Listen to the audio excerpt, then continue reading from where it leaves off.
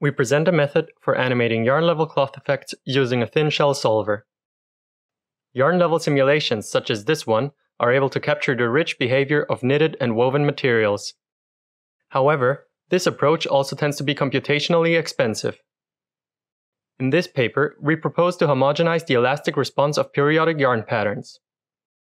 We compute an average energy density by solving for the quasi-static equilibrium under in-plane and bending deformations. For each pattern, we build a database by computing the response for many samples of deformations.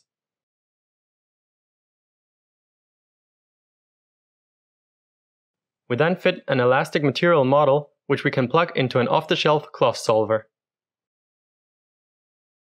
We validate our method by comparing our homogenized models to direct yarn level simulations on stretching and draping tests. Our method is able to capture the complex pattern-dependent rest shapes, anisotropy, and area preservation at a fraction of the cost of direct yarn level simulation.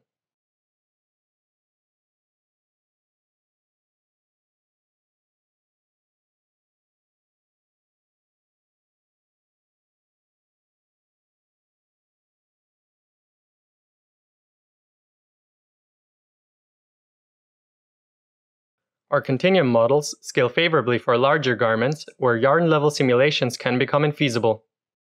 Here, we show a mannequin doing karate, wearing sweaters simulated with our materials.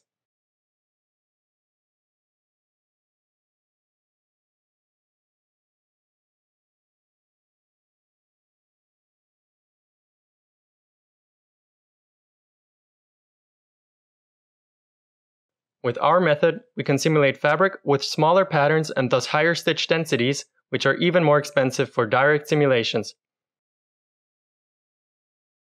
The smaller patterns naturally show more folds and wrinkles. From the back, we can more clearly see that also the smaller stockinette pattern exhibits its tendency to curl.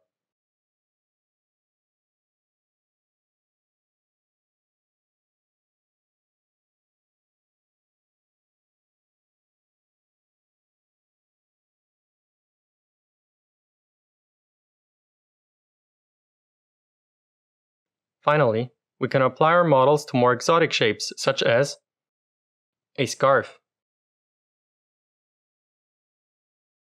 a yarn bunny, and a yarn armadillo. Thank you for your attention.